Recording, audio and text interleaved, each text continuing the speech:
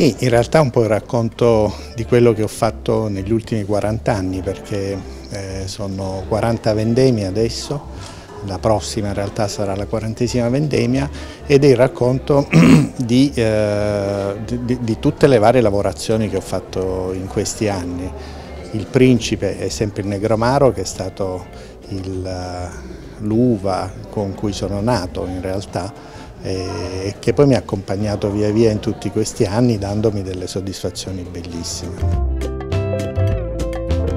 Questa sera partiamo sì, con uh, dei prodotti di Negramaro, quindi con uh, uno spumante metodo classico fatto a Gallipoli, interamente fatto a Gallipoli da un Negramaro lavorato in bianco, quindi lo start è con questo vino molto particolare.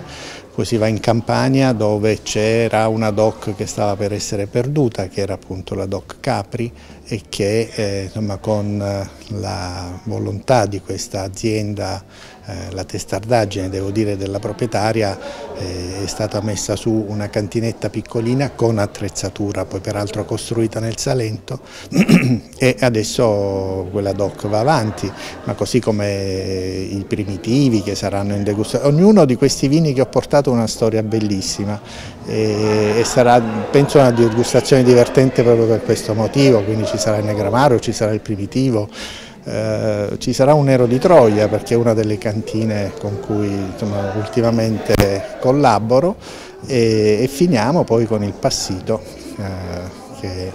è una grande soddisfazione della cantina di Copertino perché eh, anche quest'anno per il terzo anno consecutivo ha vinto Dolce Puglia. Qualcuno mi dice vabbè perché tu hai deciso di fare l'enologo? Io in realtà non lo so perché eh, da piccolo papà e la mamma mi portavano nei vigneti, ricordo sempre quei profumi di, quei, di quelle prime vendemmie, le frise eh, che mangiavamo in vigna, insomma sono tanti ricordi da bambino e poi eh, insomma, alla fine sono diventati il lavoro che faccio adesso. Giuseppe Pizzolante Reucci eh, sotto il profilo dell'enologia è un'istituzione in provincia di Lecce ha firmato i vini di diverse cantine con un suo stile, salvaguardando comunque eh, l'aggancio alla tradizione. Infatti eh, diciamo, i, parametri di riferimento del suo stile, del suo modo di ehm, produrre